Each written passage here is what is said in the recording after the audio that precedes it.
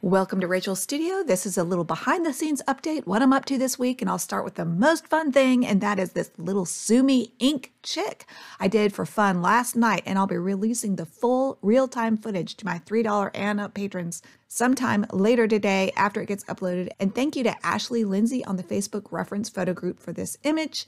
And by the way, I painted this on Hippie Crafter paper. What? Found this new distress sprayer that I am excited to show you guys and also these new distress sprays that I learned about through Jean Haines. Another thing that I'm going to be trying soon using Daniel Smith watercolor ground to resize my Arches papers and I'm also working on editing my next in the series tea consistency. I'm hoping to have that done by Saturday. Now go watercolor your world. Bye everybody.